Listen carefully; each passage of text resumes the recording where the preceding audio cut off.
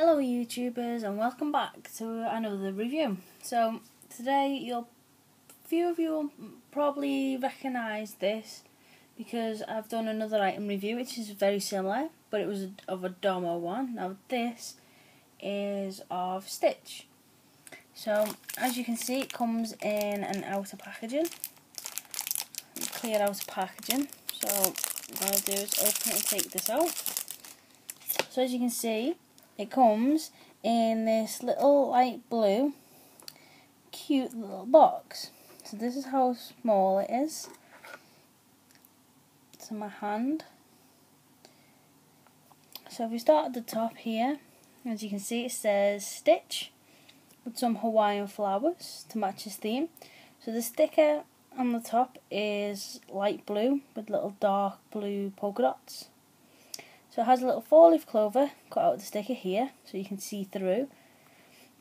So underneath we have little Stitch which I think is super cute. And underneath we have two little ducklings and this little five piece. So as you can probably tell inside it has five pieces. So this little blue box has a little sticker on top. It's only very thin and the back is see-through. So if I open it up for you guys, you'll be able to see what's inside.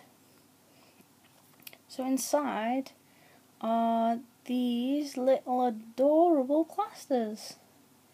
So as you can see, they have different stitches on, like Stitch's head and him sitting down, and little Hawaiian flowers. So I take these out you'll be able to see that they come in a set of five. So each plastic is exactly the same and you get five of them. So these little Hawaiian flowers are all in multiple colours and occasionally along the sticker like here it says Stitch which I think is super cute.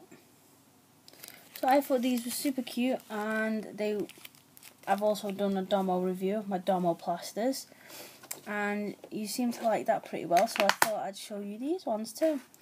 So you get five little plasters and a little carry case so I think these were adorable and kids would love them so I thought I'd share them with you. So thanks for watching everyone.